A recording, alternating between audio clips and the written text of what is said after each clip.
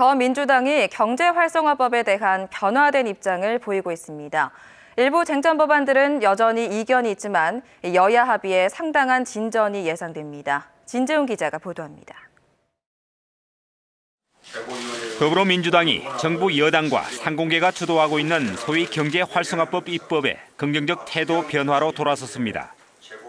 기업 활력 제고법, 즉 원샷법에 대해 양보를 통한 수용 의사를 밝힌 것입니다.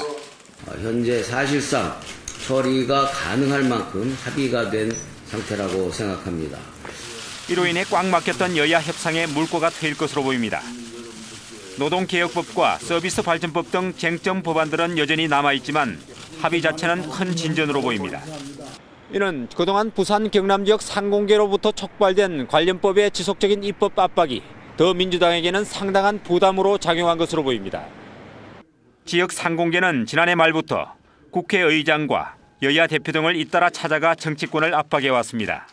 철강을 하고 있습니다만은 철강이나 화학이나 중화학 쪽은 구조적인 문제가 겹쳐서 앞으로 캄캄하다 저는 이렇게 생각합니다. 때가 중요합니다. 이 때를 놓치면은 너무나 심각한 문제가 벌어질 것 같습니까? 지금은 골든 타임을 놓치면은 우리 경제는 글로벌 시장에서 생존을 장담하기 어렵습니다. 이후 서명 운동으로 여론을 몰아가면서 여야 합의를 종용했습니다. 일부 정치권과 노동계 등의 강한 반발 속에서 그동안 국회를 공전시켰던 소위 민생 경제 법안들의 처리에 일부 속도가 붙을 것으로 보입니다. KNN 진존입니다.